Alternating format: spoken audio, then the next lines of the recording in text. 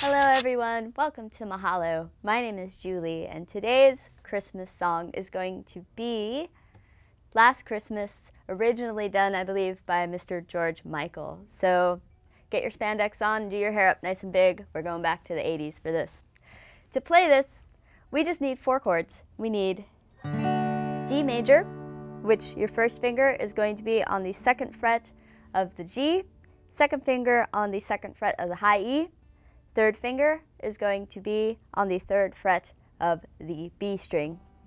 Then our next chord, B minor, bar that second fret all the way to the A string. Then our second finger is going to come on the third fret of the B, and then our third and fourth fingers on the fourth fret of the D and the G strings. E minor, that's our next chord. Uh, it's going to be on the second fret of the A and the D strings and then A major. Second fret, keep that A open. We're gonna have D, G, and B, second fret.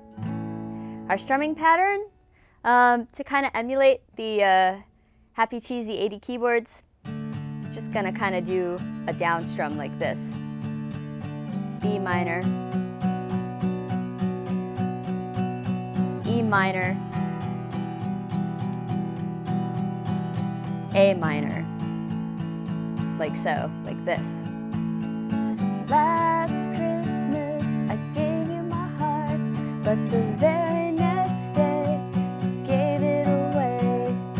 This year, to save me from tears, I'll give it to someone special.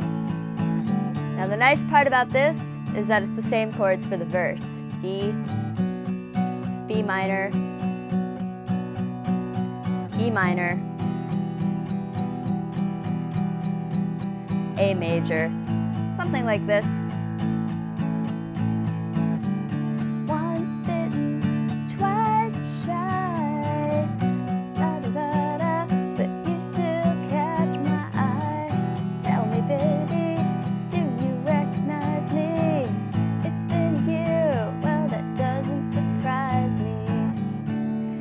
Those are the four chords that you need to know for Last Christmas by George Michael. Thanks a lot.